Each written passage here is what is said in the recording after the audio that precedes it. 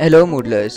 We all know that while managing a Moodle site, there can be lots of administrative duties that you might be performing.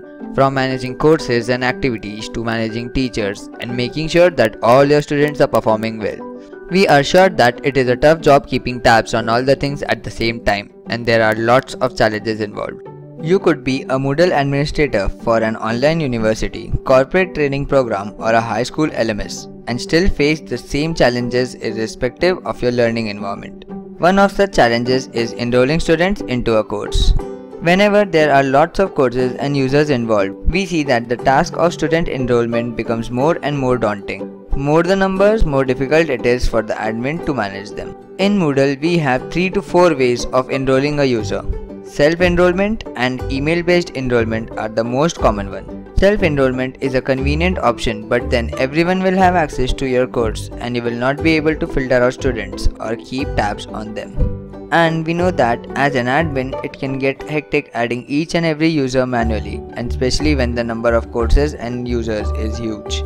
Now imagine this, if there are 500 students waiting to be enrolled in a course, then is enrolling them one by one manually a feasible option for you? Guess not it is just going to take too much of your much essential time. What if I tell you that there is actually an alternate option for enrolling such a large number of users without wasting time on manual work? A simple enrollment form can do the work. All you have to do is place the form on your Moodle site. Doing this will ensure that your work will be done in 5 minutes instead of spending 50 minutes on it. Now you must be thinking, how do I create an enrollment form in Moodle? Don't need to worry, Team Edwiser has taken care of it already.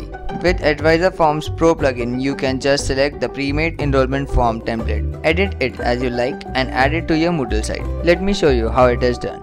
Select template course enrollment forms. Name it, fill the details. Select the course you want the students to enroll in. You can choose if you want it to be a registration form along with an enrollment form. This is usually applicable for new users. Now, when you go to the field section, you will be able to see the pre-made form with all the necessary fields already added. You can also add a few additional fields as per your form requirement. Preview the form and save it once you are satisfied with the form.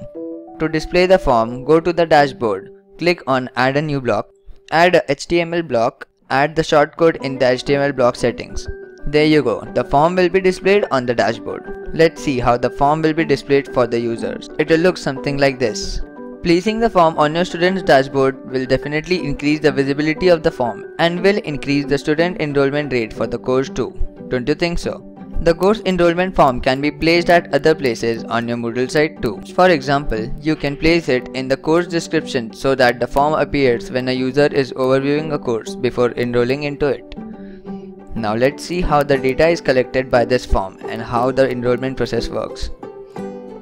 You can see that by this form you are able to automate the process of enrolling students into a course. And you also have control over whom you want to enroll and unenroll just in one click. As I have mentioned it before, this form saves a lot of your time and this time can be used in creating more courses, course content, improvising activities, grading and focusing on other administrative activities instead. Keep your focus on what really matters. So go check out Edwiser Forms Pro plugin today.